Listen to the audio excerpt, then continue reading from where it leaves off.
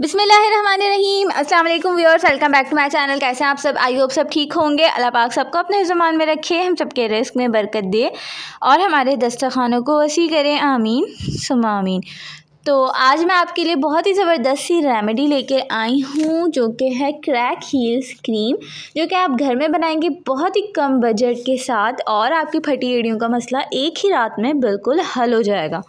तो ठंड बढ़ने या फिर ज़्यादा देर नंगे पाँव या धूल मिट्टी में रहने से हमारे पाँव की एड़ियाँ धीरे धीरे से सख्त होने लगती हैं और इनका जो मांस है वो फटने लगता है, जिसे हम क्रैक्ड हील्स या फटी हुई एड़ियाँ कहते हैं। और फिर इनमें से खून भी निकलने लगता है। ये फटी एड़ियाँ हमें बहुत ही ज़्यादा परेशान करती हैं, जिस तरह से हम अपने चेहरे का ख्याल रखते हैं, इसी तरह से हमें अपने पैरों का भी ख्याल रखना चाहिए। तो जो ये आप क्रीम देख रहे हैं, ये पहले ही दिन आपकी फटी एड़ियों को हील करेगी और एक ही रात में आपका ये मसला बिल्कुल ख़त्म हो जाएगा, आपको वाज रिज़ल्ट नज़र आएँगे।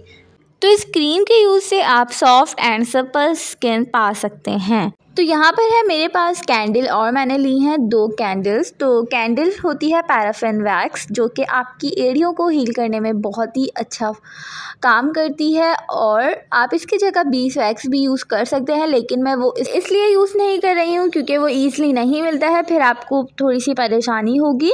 तो इसलिए हम यहाँ पे कैंडल यूज़ कर रहे हैं और दोनों ही बिल्कुल अच्छा एक जैसा काम करती हैं। आप कैंडल को बहुत ही आराम से यूज़ कर सकते हैं, इसका कोई भी साइड इफ़ेक्ट वगैरह नहीं है। बहुत ही अच्छा ये वैक्स का काम करेगी और आपकी एड़ियों को ये सॉफ्ट करेगी और जो फट गई हैं, उनको हील करेगी।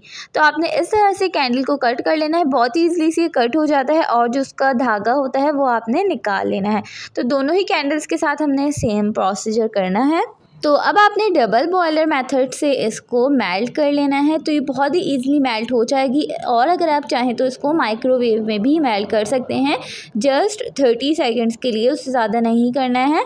तो यहाँ पे आप देख सकते हैं, ये हो गई है, बहुत ही अच्छे से मेल्ट होने लगी है। अब आपने इसी स्टेज पर इसमें ऐड करना है वन टेबल स्पून फुल भर के सरसों का तेल, यानी कि मस्टर्ड ऑयल तो मस्टर्ड ऑयल आपकी एड़ियों को हील करने के साथ साथ अगर उसमें ब्लीडिंग वगैरह हो जाती है या कोई ज़ख़म फंगल इन्फेक्शन हो गया है तो उसको भी क्योर करेगा, उससे भी ठीक करेगा। तो यहाँ पे हमने सरसों का तेल ऐड कर दिया है, उसके बाद आपने इसको इस तरह से मिक्स करना है, ताकि ये दोनों चीज़ें आपस में जैसे मिक्स हो जाएँ और ये जल्दी से मेल्ट हो जाए।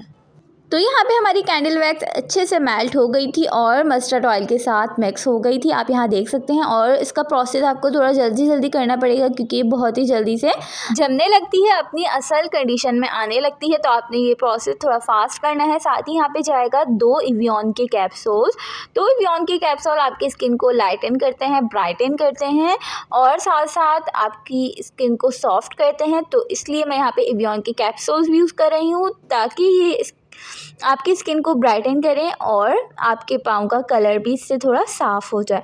तो यहाँ पे आप देख सकते हैं, इसको आपने मिक्स करना है दोबारा से और फिर इसमें एक लास्ट इंग्रेडिएंट जाएगा और वो है हमारे पास एलोवेरा जेल तो एलोवेरा जेल बहुत ही अच्छा सा मॉइस्चराइज़र है और इसको ऐड करने की ये वजह है कि ये थोड़ा सा लिक्विडी सा हो जाए अगेन और ये स्टिकी सा हो।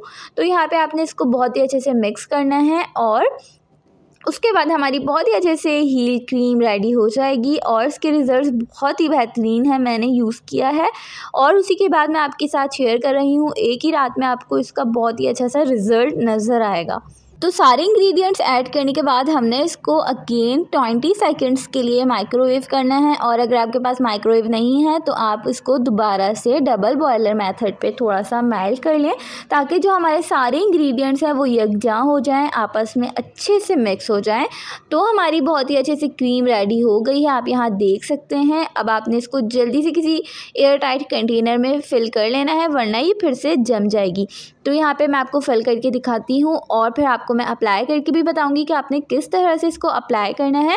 तो यहाँ पे छोटी सी रिक्वेस्ट है, वीडियो पसंद आ रही है तो जल्दी से लाइक कर दें। साथ ही मेरे चैनल को सब्सक्राइब करना मत भूलिएगा। फ्रेंड्स और फैमिली में भी ज़रूर शेयर कीजिएगा। और इस क्रीम को आपने अपने बड़ों के साथ लाजमी शेयर करना है, जो हमारे घर में नाना, दादा नानी वगैरह होते हैं, उन लोगों के साथ ये मसला थोड़ा ज़्यादा होता है क्योंकि वो लोग पानी कम पीते हैं और बाकी हम लोग भी सर्दियों में पानी कम पी रहे होते हैं तो पानी कम पीने की वजह से ही हमें ये ड्राई ड्राइनेस का सामना करना पड़ता है और इसकी वजह से हमारी एड़ियाँ वगैरह फट जाती हैं, हमारी हथेलियाँ ड्राई हो जाती हैं काफ़ी। तो आपने इसको रात में सोने से पहले अपनी एड़ियों पे, अपने पूरे पैरों पे अच्छे से अप्लाई करना है और उसके बाद आपने सॉक्स पहन के आराम से सो जाना है और जब आप सुबह सॉक्स उतारेंगे तो आपको मैजिक नज़र आ जाएगा। तो यहाँ पे मैंने इसको फिल कर लिया है एक बॉल छोटी सी कंटेनर में और फिर मैं आपको अप्लाई करके दिखाती हूँ। तो आई होप सो वीडियो पसंद आई होगी।